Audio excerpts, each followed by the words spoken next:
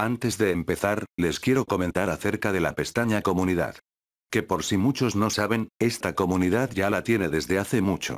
En ella, estaré publicando muchas cosas, como actualizaciones del canal, encuestas de vídeos, algunas cosas random, y otras cosas que quisiera compartir con ustedes.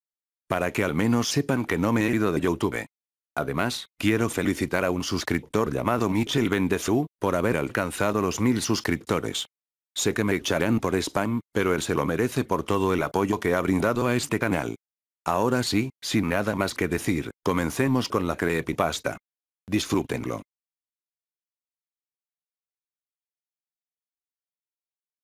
Cualquiera que haya decidido entrar a este video. Espero que se tome el tiempo para escuchar mi historia. Esto es un suceso que me transformó por siempre. Aunque parezca poca cosa, para mí, es mucho más que eso. Lo único que les puedo pedir, es que compartan esta historia, y que esta historia llegue a 500 likes, para así al menos sentir algo de paz. Todo comenzó hace cuatro semanas. Cuando me encontraba limpiando mis cosas sucias y viejas del armario. Llevaba más de siete años sin entrar a ese sitio. Tenía ganas de entrar y revisar todo lo viejo que tenía. Después de todo, una mudanza se acercaba. Me dispuse a revisar todo lo que pude. Ahí me encontré con bastante cosas juguetes, accesorios, un vaso que me gustaba de niño, y un Nintendo GameCube. Entonces, recordé que de niño me gustaban los juegos que salían para esa consola. Uno de mis juegos favoritos era el Super Mario Sunshine, y el Mario Kart Double Dash. Pero el único juego que me quedaba, era precisamente el primero. Sentí un deseo de revivir los viejos tiempos, pero no sabía con seguridad si la consola funcionaba. Es decir, estaba 7 años sin continuar. Lo saqué de mi armario. Me dispuse a comprobar si funcionaba. Si funcionó. Me sorprendí por eso. No creí que pudiera resistir siete años ahí. Entonces, saqué el juego del Mario Sunshine. Me dispuse a probarlo. Aún tenía el archivo viejo, cosa que me lleno de recuerdos. Ya tenía los 120 soles del juego, y las monedas azules. Así que solo me decidí a crear una parda nueva. La introducción fue normal. El juego era como lo recordaba. Todo era según lo planeado. Solo un inconveniente pequeño había en todo el juego. En algún lugar de la zona, había una persona. No era la princesa Peach, era un ser humano normal. Se suponía que en Super Mario Sunshine no hay humanos más allá de Mario y Peach. Pero eso me habían contado. Como me pareció raro verlo ahí, me dispuse a hablarlo. Pero el diálogo solo decía. 120 shines. Al principio no le entendí pero después supe que necesitaba recolectar los 120 soles del juego, para hablar con ese extraño personaje. Pero no tenía tiempo para pasarme el juego completo otra vez, pues en unos días me mudaría. Y quizás perdería el interés en ello. Así que decidí cerrar el juego y volver a ponerlo, y así agarrar mi partida vieja otra vez. Pero el juego no se puso. O al menos la primera vez que lo intenté. Cuando se cargó bien, creí que el disco no había funcionado bien. Mi partida vieja se puso, y ahí me dispuse a encontrar a ese extraño personaje. Ya tenía todo ahí, pero no lo encontré. No estaba en el sitio que esperaba. Lo busqué en todo el mapa, pero no lo encontré. Incluso intenté hablarle a la gente del sitio, pero no me ayudaron en mi objetivo. Entonces, no me pregunten por qué pasó, pero recordé, esa historia que escuché. Se llamaba el Shine 121 esa historia, y recordé que en esa historia se hablaba de una tumba en el juego. Así que fui a ese lugar, solo por aquella curiosidad. Y para mi sorpresa, ahí estaba. Justo en el medio de aquella lápida. Ese extraño personaje estaba ahí parado. Cuando me subí a la plataforma, perdí el control de Mario. Mario comenzó a caminar hacia Loella. Justo enfrente de aquel se detuvo. Durante unos segundos, la música se detuvo, y solo se escuchaban los pasos de Mario, hasta que se detuvo. No se escuchaba nada. Ese extraño personaje, pronunció un diálogo que me puso bastante estérico. Pronunció una cuatro palabras con micrófono.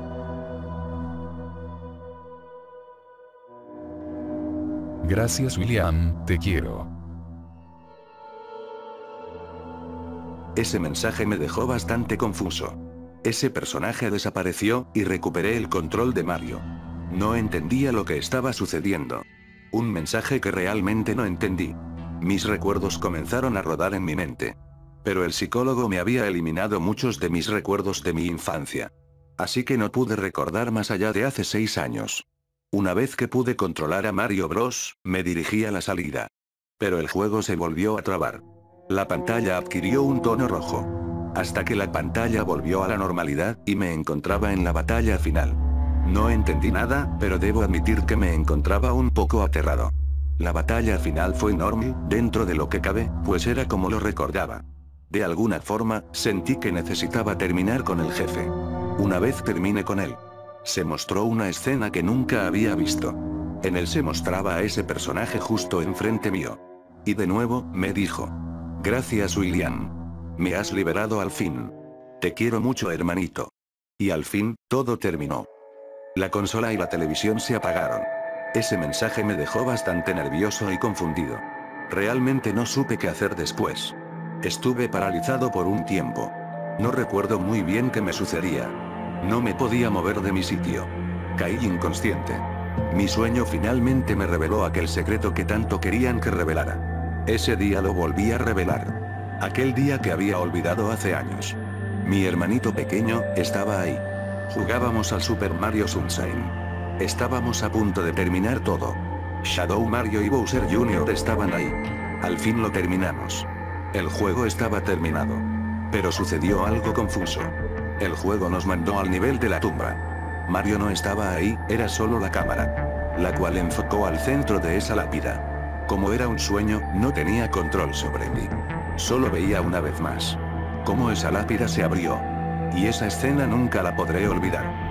Cómo salían los personajes ensangrentados, con partes desmembradas de los piantas, los yoshis, los toads, y al centro, aquel personaje que vi antes de desmayarme. Ese diálogo. Es hora César y se llevaron a mi hermanito. Nunca sabré por qué lo hicieron. Pero mi hermano ya no estaba. La televisión se apagó. Pero, a diferencia de lo que pasó después, esta vez mi hermano apareció en la tele al encenderse. Él solo me dijo. Gracias por liberarme, ahora puedo descansar en paz. Disfruta tu vida. La tele se apagó, y ahora sí volvió lo que sucedió. Un cortocircuito se llevó lo poco que quedaba de mi cordura. Y ahí es lo último que recordé. Y también lo que soñé. Me desperté en la cama del hospital. Mi mamá me atendió, me abrazó, y me preguntó qué había pasado. Yo solo le limité a decirle a mi mamá. Extraño a César mamá. Lo quiero mucho. Y mi mamá me abrazó. Salí del hospital una hora después.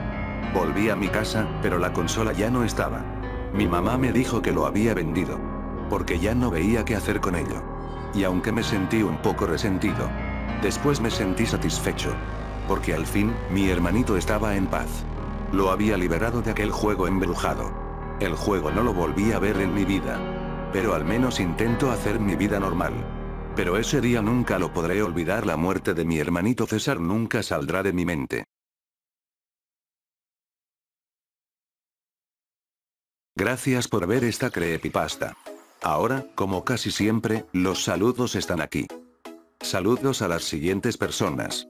William Anguiano, un Yoshi muy normal, César Anguiano, Aaron el Gamer Loquendero, Zonico Muñoz, Olaf García, el loco de YouTube XD, el gran coach, Mega Castillo, Forces Unity Forever, Ceref el Ganda, Joaquín XD, Stickman Tutoriales y Secretos de Juegos, Canal Multicontenidos, Brateloa, Eyeles Jack Gamer, Jorge Kamilov, The Legend of Link 550, Catriel, Alexis FRDSL, Don Valentino, Naikepler, Daniel Maradiaga, Samuel Dash GP, Munchi, Elsa Marisol Soto Herraez, un weón cualquiera, Ponchín Tanuki Rodríguez, Santiago Low, Retos Extremos, Enid Torres, Enderman GG 2006, Iolo, Sebastián MTZ, Joaquín XD, Robot Gamer 123, Mirokau Mareoic, Solvent Droid del Marcianito 88, Josué Alarcón, JP Jara, Fernando Díaz, San Juan, Juancho el Loquito del Polito, Arián Ventura, El Sonic Blanco y Negro Locuendo, Aurucha 77, Super Mario Molina, Rocket Chunk, Jaquelina Portillo, Víctor, Alexis 512, Visifer TH, The Cox, Coquin, César Cáceres, Foxy Gamer Rocano Bravo 2, Nahuel Villalba, Danny Souls, Santi Gámez Z, Miguel Random, Miguel González Velázquez, El Gamer XD 133, Minoru Mineta, Isacar 13, Guscat, Tiago Silca, Miguel Montañez, Inuyasa 2002, Blago Kumite, Rubén Pérez Díaz, El Maestro Pokémon y más, Samuel Reina, Carlos Salazar, El Gamer Clásico, JC Henry García, Spider-Man Gamer, Santiago Carballo, Ángel Guarenas, Ignacio Rodríguez, Eric Perea, Arogame LPZ, Dulce Maldonado, Iván Sánchez, Cosmigna Jimmy 96, Dylan Pacheco 99, Diamante 10 y Ring 45. Gracias por ver este video, si les ha gustado pueden dejar sus pulgares, arriba, y si no les ha gustado pueden dejar su pulgar abajo. Gracias por los 19.000 suscriptores, y vamos rumbo a los 20.000 suscriptores, que ya estamos muy cerca, yo sé que sí se puede. Gracias por su apoyo, nos veremos hasta el siguiente video. Adiós, se despide su amigo, el Toad Amarillo, y Adrián TR sean hongos dorados, no venenosos.